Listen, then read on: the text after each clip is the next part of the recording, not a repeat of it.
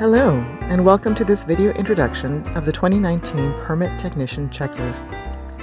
These checklists were developed based on feedback from over 100 permit technicians. They cover the most frequent permit projects and will assist you in verifying all required information during application intake. This video is the first in a two-part series. In this video, we'll review how to download the checklists and see the types of projects they focus on. In the next video, you'll get more familiar with how they are organized and practice using them. To find the checklists online, go to energycodeace.com, click on the Resources ACE header, and then click on Checklists. From here, you can print out a hard copy of the checklist for your desk, download a copy to your device, or bookmark their location on the Energy Code ACE website so that you'll always have access to the most recent version. The checklists are provided as PDF files, so you'll need Adobe Acrobat Reader to view them. If you don't have this program installed on your device, you can download Adobe Acrobat Reader for free at https colon slash slash get.adobe.com slash reader.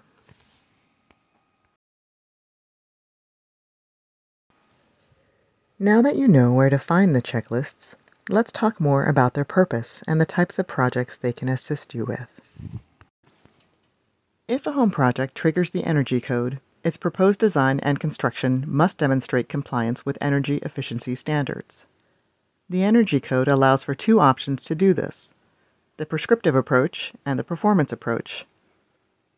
The prescriptive approach uses a project's scope and climate zone location to generate a list of applicable energy requirements. To comply, all requirements must be met. Missing just one will make the project fall out of compliance. The performance approach is a more flexible pathway for building customization, but it requires special software to analyze the project's energy efficiency and verify it will at least match or exceed the prescriptive baseline. Note that there is also a set of requirements called mandatory measures.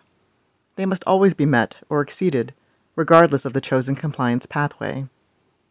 Because the average homeowner will likely opt for the simplest and least costly approach, your checklists are designed to focus on permit applications submitted under the prescriptive approach. Think of the permit technician checklists as a job aid designed for your use in intake and evaluating permit applications for compliance with 2019 Energy Code. As a job aid, they are written to assist you with quick triage of incoming permit requests under 2019 Energy Code, direct links to applicable Energy Code sections and compliance forms, further resources for permit applicants to understand code requirements. In fact, you can print out an extra copy to hand out directly to customers asking for more information. Ready to dive in? Let's look at how they work and the types of projects they can assist you with.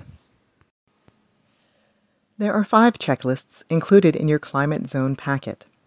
Each checklist will cover the 2019 Energy Code requirements for a different type of residential alteration project.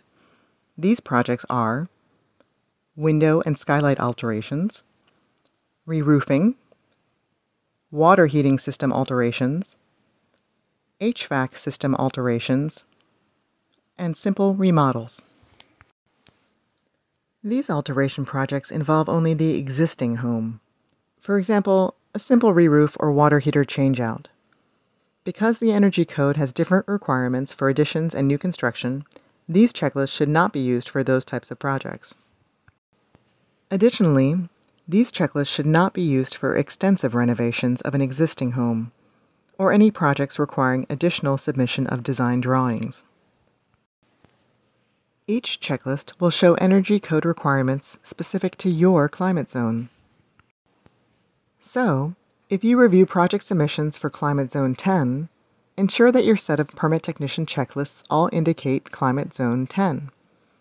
If the scope of your job covers more than one climate zone, keep a set of checklists for each climate zone on hand.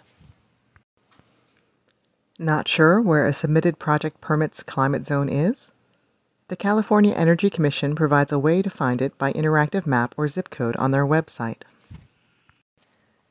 In the next video, you'll look at a sample checklist to see how it's organized.